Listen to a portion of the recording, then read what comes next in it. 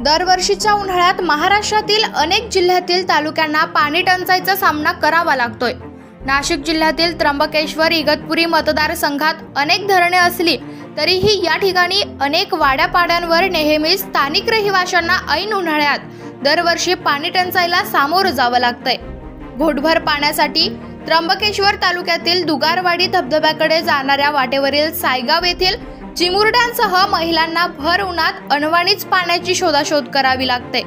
एकांतरितच काय तर धरणे उशाशी आणि तहान घशाशी अशी स्थिती या वाड्यापाड्यांवरील रहिवाशांशी झाली आहे असे म्हटले तर वावगे ठरणार नाही. एकीकडे जिल्ह्यात उन्हाच्या तडाख्याने नागरिक त्रस्त झाले असून जिल्ह्याच्या पश्चिम भागातील पावसाचे माहेरघर असलेल्या इगतपुरीसह त्र्यंबकेश्वर तालुक्यातील असंख्य वाड्यापाड्यांवरील ग्रामस्थांना हंडाभर पाण्यासाठी दाही दिशा वणवण करण्याची वेळ आली आहे.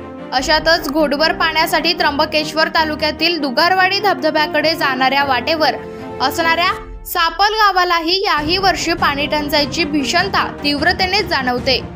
या पाणी टंचाईमुळे जणू उन्हाळ्यातील दुष्काळ येथील रहिवाशांच्या पाच पावलीवरच पुजलाय असे वाटू लागले. एकीकडे निसर्गाच्या सानिध्यात असणाऱ्या सापगावपासून अवघ्या काही अंतरावर पावसाळ्यात मोठ्या प्रमाणात दुगारवाडी धबधबा वाहतो. मात्र उन्हाळ्यात या ठिकाणी पाण्यासाठी या स्थानिक रहिवाशांना महिलांना पायी चालत पाणी आणावे लागते हीच मोठी शोकांतिका म्हणावी लागेल. येथील चिमुरड्यांसह महिला वर्गाला भर उन्हात अणवाणीच पाण्याची शोधाशोध करावी लागत असून अंघोळीच्या पाण्याचाही पुनर्वापर करण्याची वेळ आली असल्याची विदारक स्थिती या ठिकाणी दिसते.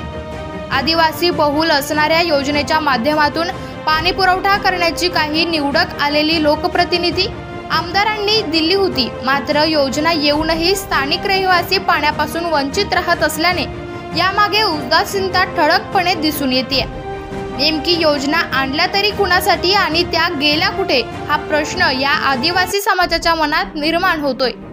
मात्र यावर बोलणार कोण? असा प्रश्न जनसामान्यांना पडल्याशिवाय राहत नाही.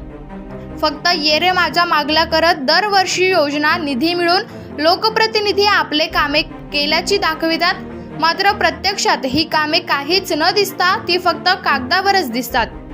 निदान आता तरी आमदार स्थानिक लोकप्रतिनिधींनी योग्य पावले उचलत ह्या वाड्यापाड्यांमधील पाणी प्रश्न दूर करून आदिवासी जनतेला न्याय द्यावा अशी अपेक्षा नागरिकांकडून व्यक्त होतीये. दरवर्षीप्रमाणे याही वर्षी राज्यात पाणी टंचाई आहे पण ती निव्वळ उन्हाळ्यामुळे नाही तर वीज टंचाई गैरप्रशासन नियोजनाचा अभाव आणि पाण्याचा बेमुदत वापर ही ही पाणी टंचाईची कारणे आहेत.